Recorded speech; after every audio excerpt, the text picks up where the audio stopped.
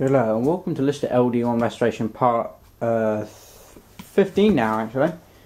And today is going to be putting the first coat of green on the diesel tank. Also got the silencer there and that's going to be sprayed in some heat proof black so we want to do that and also all bits of piping. With the joiner for the um, upturned exhaust pipe. And also I'm going to we've got piston rings in there Oh, nice, lovely, genuine Lister uh, piston rings. And what we're going to do is uh, I'm going to gap the rings on the on the um, engine. I brought the manual with me. I'm going to gap it, and I think we're going to do some assembly to the engine. Finally get around to assembling it, and then once it's pretty much almost assembled, we will lift. Me and Dad will lift it onto the trolley, and uh, we'll go from there. Trolley's at home being sorted out. I'll do a video on that I suppose when I get when I get around to it. And yeah, so uh, we're going to um, I think the first thing to do is probably going to spray my uh, exhaust silencer. I'm going to spray that and give my um, thing a coat of my diesel tank a coat of green paint. So I'll make a start on the uh, silencer. Okay, you can see I've done the um, uh, exhaust silencer and also a little pipe union. I've done the um, elbow a while back. So um, yeah, here it is. That's the, the the union I found in the scrap pile, and silencer I bought, and the um, also the elbow I found in the scrap pile. If I if it doesn't work out, I'll just probably put a straight pipe. I think the elbow might make it a bit quieter again, because the sound waves bounce around the elbow instead of just bouncing. I think. I don't quite know the science behind it, but it should do. And if anyone was wondering, this is the paint I am using. I don't know what it is. Plasti-kote or something, I don't know. Plasti-kote, I think it is. Tech paint. Wood stove. I don't know. They had they had two when I bought it. I bought that at the um, the range. Some people might know what the range is. It's like a don't know what it is. It's like a shop that sells everything, sort of thing. But it's not like a pound shop. Don't know how much that was. Three, three, four hundred can or something. Bought that two year ago now, I think. I uh, bought it for my Wolseley engine when I did the silencer on that, and not had a problem. Not not flaked off or chipped or anything. My DK, um, I did the vaporizer and the uh, silencer. I think that gets a little bit hotter because it did blister, but I did that instead of bare metal. I did that on top of the old paint, which probably caused it to blister. I didn't prepare it. I just like took it apart and painted it. That's all I done with that. Same. So this here has all been put onto bare metal sort of thing. So hopefully it should be okay. I don't think a diesel engine gets as hot that way, but maybe if it's working, it might. But it's made the silencer look a lot better. Very nice. I'm quite pleased with it. Also, I've done the tank, so I'll show you that in a minute. As you can see, I've done the tank, excuse the messy workbench, but I will be sorting it out before I do anything a bit more to it. But yeah, there's the um, tank, that's its first coat, not looking too bad.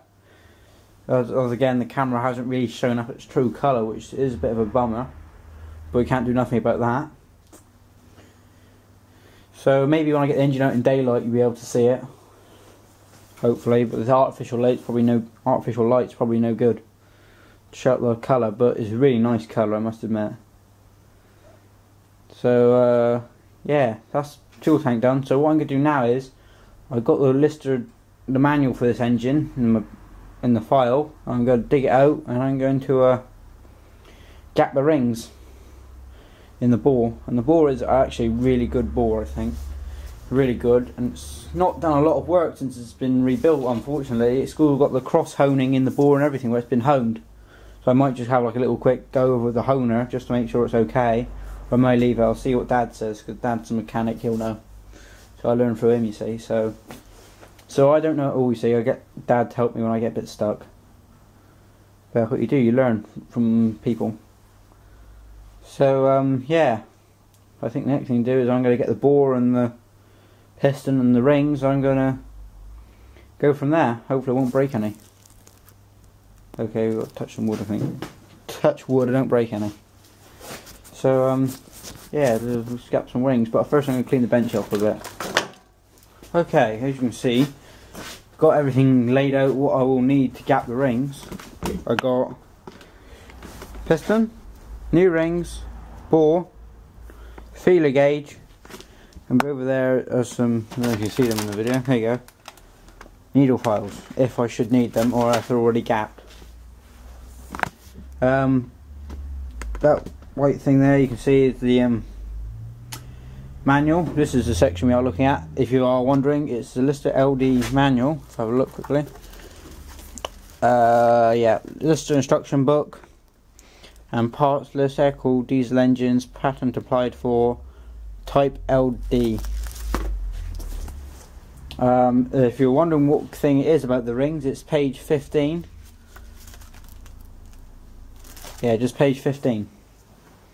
So what I'm going to do is I'm going to gap the rings. The ring gap should be 8 to 20 thousandths of an inch.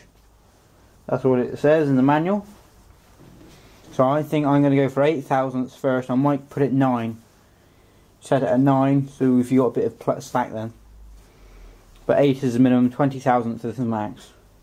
Doesn't say about oversized, but that's about it. And for um, newer children that is 0.20 to 0.50 of a millimeter. So that's I think that's 0.2 of a mil to 0.5 of a mil.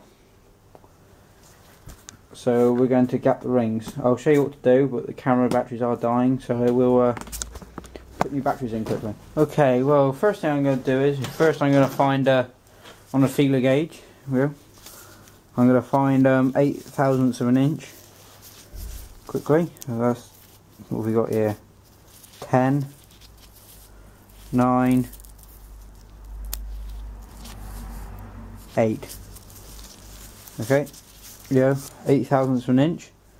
See, there's quite a quite a small gap. So uh, what we do is you get your ring, you uh, put place it in the bore, trying of course to be very gentle. I think you'll find it's probably best without gloves. Okay, you get your piston and use it like a plunger. And just push it down the bore halfway like that. Okay, I'll take off the tripod, you'll be able to see. if We go down there, you can see the gap. You get your feeler gauge, and you just place it in the gap. That's the smallest gap we got. Sorry, it's quite bad. As you can see it does not fit. Oh yeah it does. Oh you're missing it. So I can get in the bore there you go. Don't know if you can see that down there but the feeler gauge does go in there. So that gap is bigger than uh, bigger than 8 thousandths of an inch so what I'm going to do is I'm going to put you back up here on the tripod quickly I'm going to get uh, I'm going to keep going over so let's try um, 9 thousandths of an inch.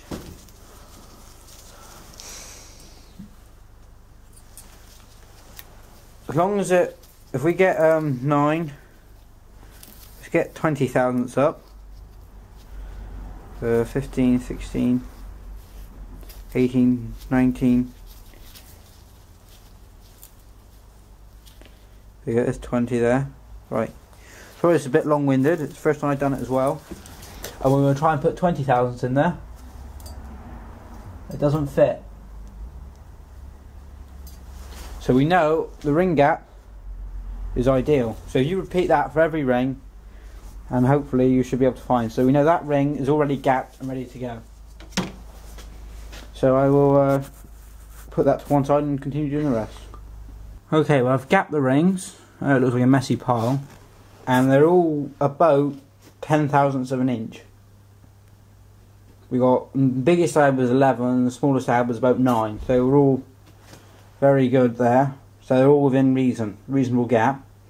The bore is good, and they did. I checked at the top, the middle, and the bottom, and pretty much there was.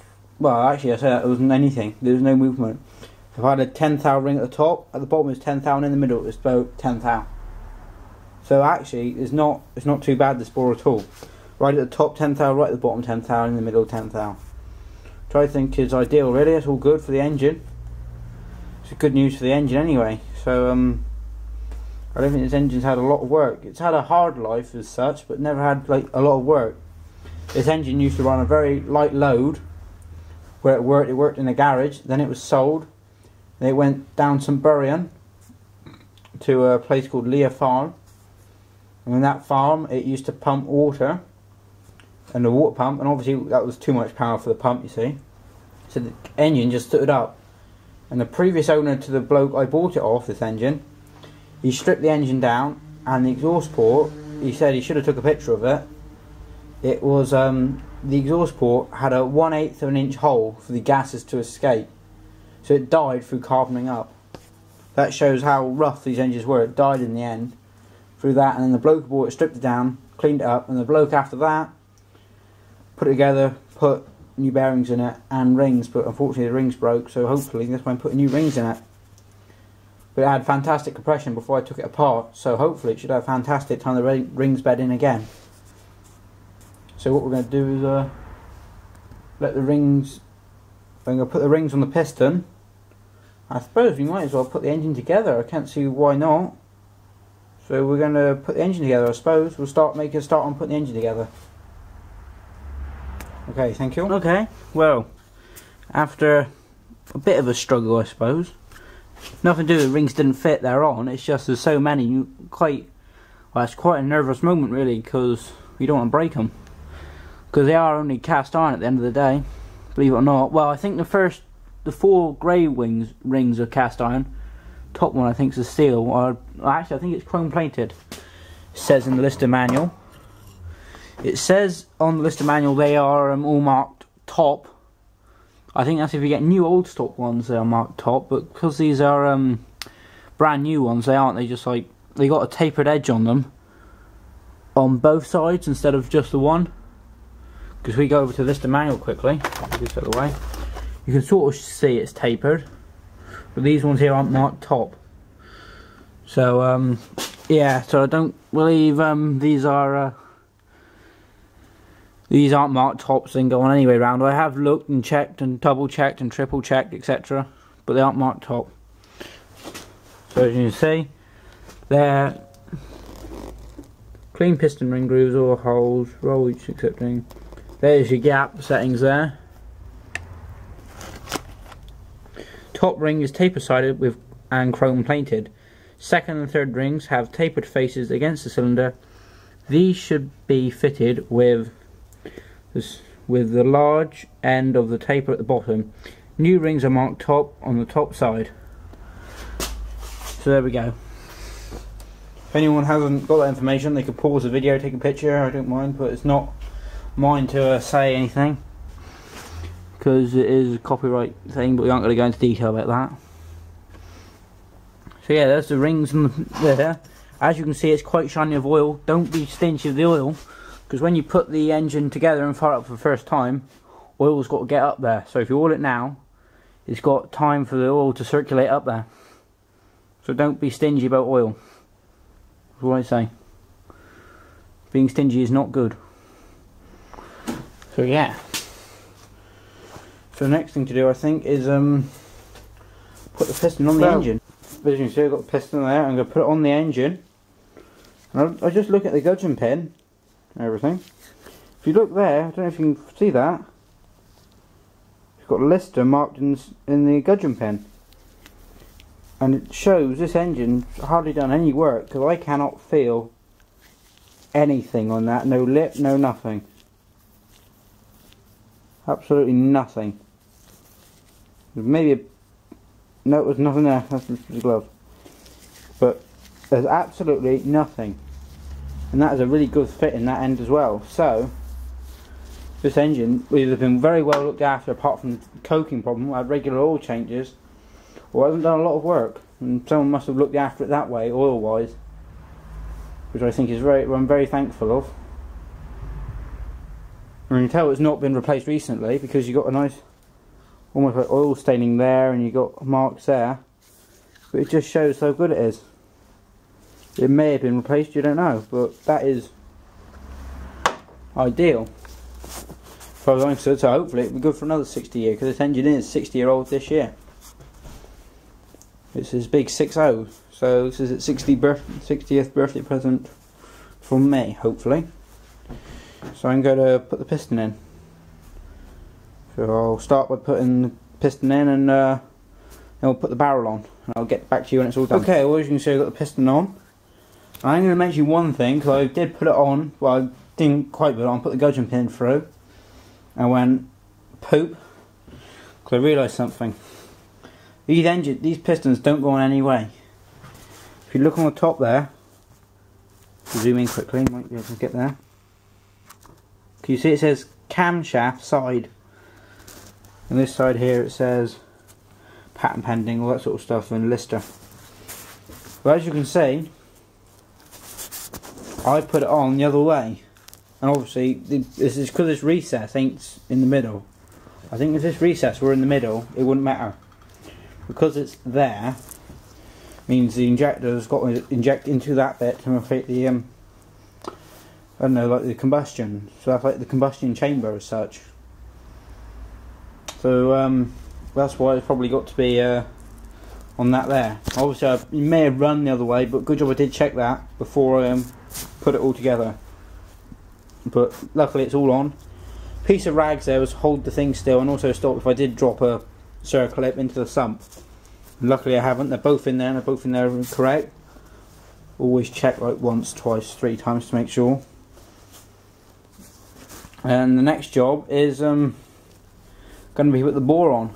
Now this is going to be a tricky job. I don't want to break any rings doing it, so we're going to put it on. Put the bore on. Uh, make sure you remember the little copper gasket. I'll get that out the gasket set to do. And we shall put the bore on.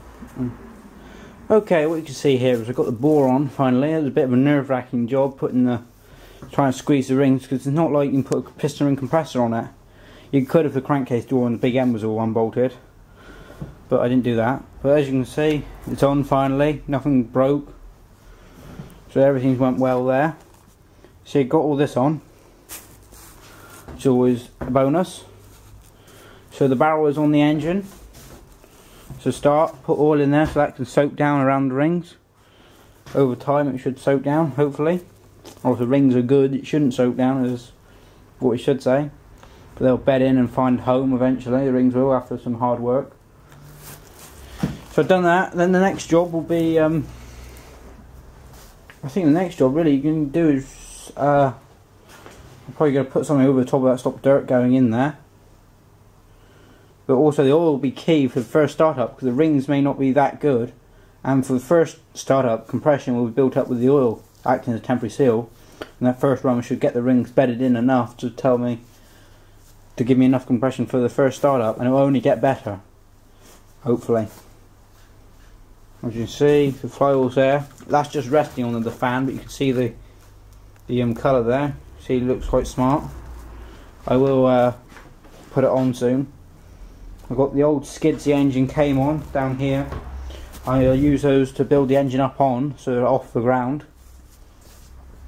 And the great thing about this bench is I can lower this bench to allow me to uh, um, allow me to uh,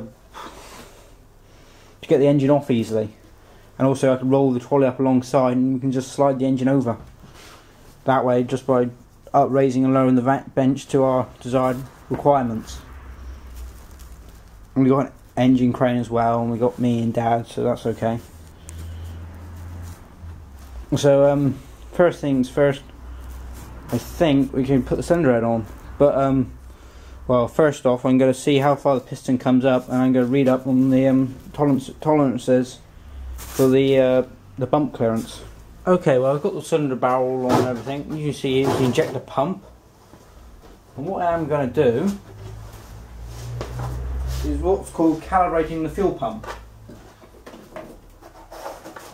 It's on um, in the manual. Uh, fuel equipment, page 20. look down to time in the fuel pump.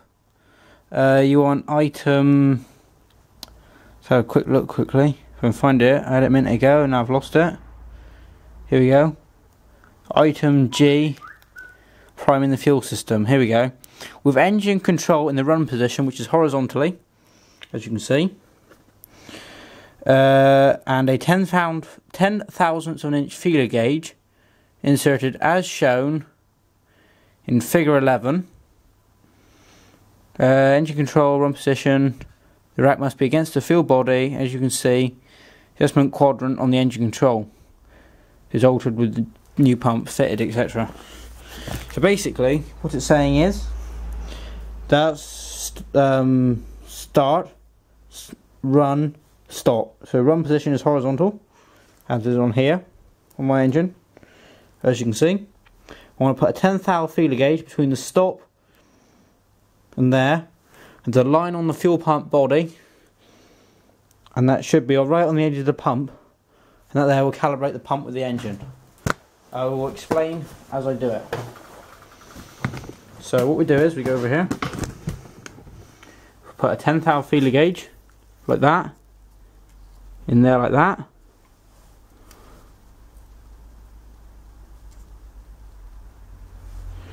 As you can see, if I zoom in to the pump, don't know if you can see that, nope. Get a bit higher on the tripod. You may just see it, it's a very tricky thing to see. I don't know if you can just see that line. If zoom out and get closer, you might be able to see it.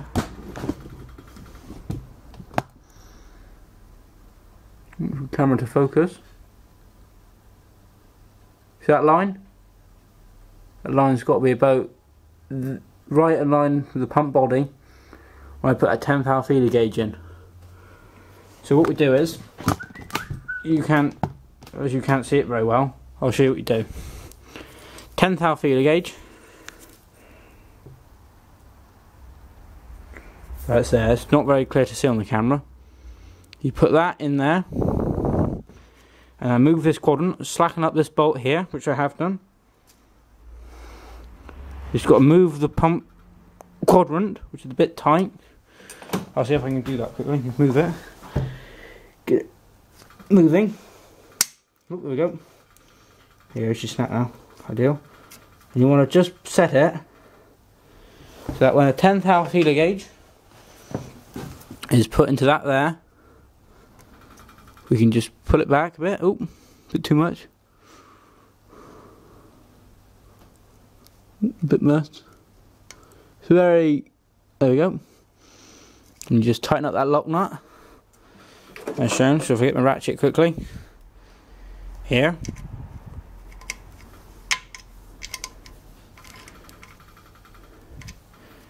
And you let go and that's it. That's it there and you tighten up that nut. And that there will um, allow the uh, that'll time all the governor and everything up with the engine so the governor when the governor opens up it will align it with the thing so that's all done. So just knock that up a bit more. Right what also is a good idea I don't know if this will work but you know, as you look on YouTube, you've got people slowing down their engines by doing that, holding the thing near the stop. What I'm thinking is, at rallies, when the thing rings all bedded in, undo this again, mark where it is now, with a bit of black paint or something, small so you won't notice. I'll move it towards the stop a bit more, move it that way, the quadrant, quadrant, quadrant, and that there will hold it more near the stop. And then hopefully it might just idle a bit more and get a bit hotter. As long as don't get too hot and a burn cleaner, but running slower. And I'll use less diesel as well. I'm running a load, I'll put it back to normal. So uh, yeah, that's that done. And I'd like to say it's a good night's progress. And um, I'd like to say thanks for watching and stay tuned for part 16. So thanks for watching.